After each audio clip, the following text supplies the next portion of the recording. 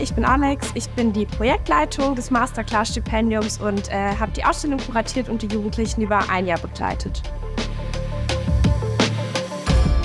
Die Masterclass ist ein Stipendium für Jugendliche zwischen 15 und 19 Jahren und äh, sie bekommen die Möglichkeit, an Workshops teilzunehmen zu verschiedenen künstlerischen Themen und dann zum Schluss eine Ausstellung zu erstellen mit äh, ihren eigenen Kunstwerken.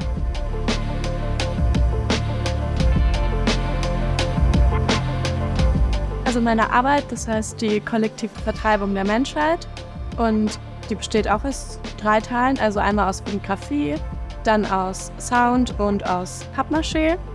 Die Hanna hier hat mir auch sehr geholfen mit äh, Ideenentwicklung, aber eigentlich war ich schon davon überzeugt, ähm, so Verzweiflung, innere Verzweiflung und äh, das eigentlich so das innere Gefühl und dieses das einfach des Lebens schon darzustellen. Ich glaube, die Idee mit dem Körpergefühl, was du vermitteln willst, war schon von Anfang an was, was du mitgebracht hast und ich glaube, wir sind mal so durch Ausstellungen gegangen im Haus und haben uns so angeschaut, okay, was gibt es für konkrete Präsentationsmöglichkeiten. Dann bist du eigentlich ja, in dein Stübchen gegangen und hast eine sehr gute Arbeit produziert. Und äh, genau, bin voll stolz und froh, dass ich das begleiten durfte.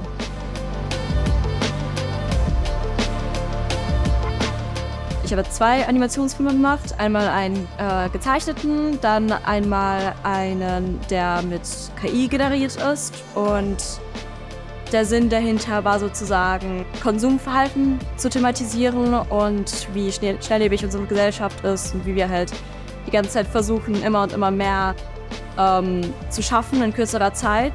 Und es war super spannend und hat auch mir umgekehrt sehr viel gelehrt, weil Victoria einfach ein super starkes Konzept schon hatte und mega motiviert war und da tausende Zeichnungen angefertigt hat.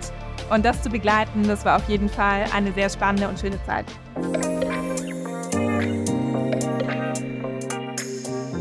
Ich hatte beim ZKM das erste Mal die Möglichkeit, meine traditionelle Kunst in einem Bolzschnitt mit meiner Medienkunst, meinen Videos, die ich aufgenommen habe, zu kombinieren. Hierbei war es mir ganz wichtig, dass meine äh, Videos in den Mustern, in meiner Musterwelt drin liegen und dass ich die zusammen kombiniere. Ich habe einmal eine Tonfigur und ein Hologramm. Das Titel meines Werks ähm, heißt Ist es gerecht oder is it fair? Und das ist auch der Titel meines Gedichts, das ich äh, im Hologrammwerk von mir vorstelle.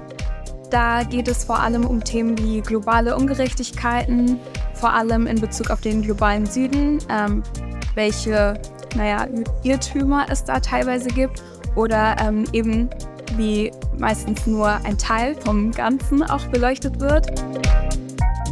Ja, also ich fand es super schön, dass ich mit allen meinen Anliegen zu einer Person gehen konnte. Ich habe meine ganzen Ideen praktisch aussprechen können und es war schön, dass jemand dahinter steht und auch an einen glaubt. Ich habe mich besonders ähm, darauf gefreut, eben jeden Tag einfach ähm, was Neues zu erleben in der Gruppe. Man hat sich sehr, sehr gut ähm, ergänzt so untereinander. Wir haben sehr gut ähm, harmoniert. Mein Werk, äh, das Tensio, handelt von äh, der eigenen Wahrnehmung des Körpers und dem Selbstbild und wie dieses sich durch äh, äußere Einflüsse zum Beispiel ähm, normative Körperbilder, die durch die Gesellschaft aufgedrängt werden, so verzerrt wird. Ich glaube, das war ein bisschen mehr, als andere sich getroffen haben und haben da ganz verschiedene Sachen gemacht. Manchmal hast du mir einfach vorgestellt, was du gerade so woran du dran bist. Manchmal haben wir, habe ich einfach zugehört und dir dann gesagt, ah, spannend, vielleicht ein bisschen viel, vielleicht ein bisschen wenig. Ich habe wirklich anfangs mit so einem Berg an Material und Ideen angefangen und Nina hat dann, glaube ich, gefühlt jedes zweite Mal gesagt, ja, also das ist, das ist cool, aber du musst immer gucken, dass es so ist, damit es realistischer ist und dass du es hinkriegst und dass du ein Projekt machst, was dir auch Spaß macht und worauf du stolz sein kannst und nicht, dass du alles versuchst noch mit reinzubringen und dann funktioniert es am Ende halt nicht.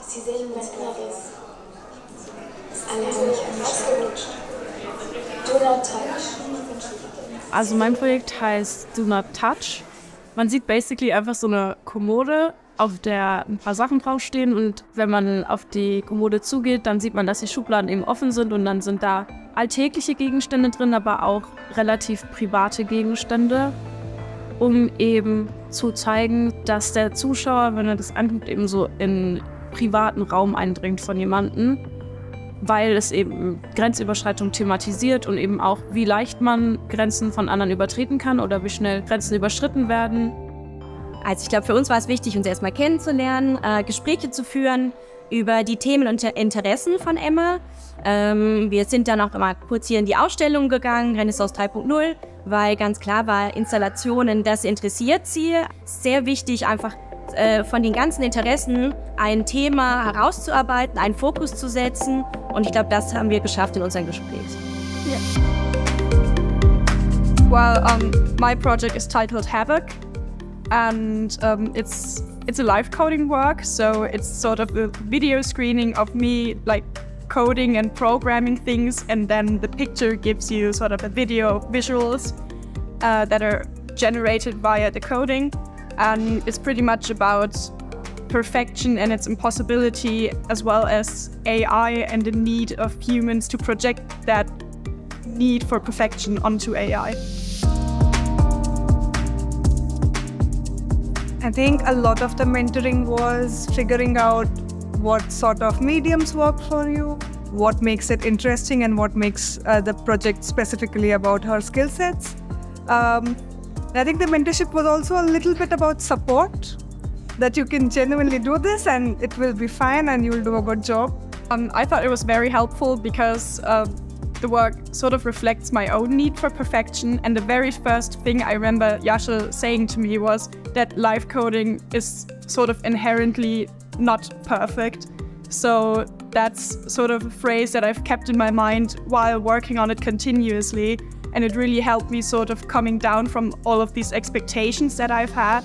And as Yasha already said, it was a lot about support and it really, really helped me like figuring out what I was going to do and then being able to actually do it.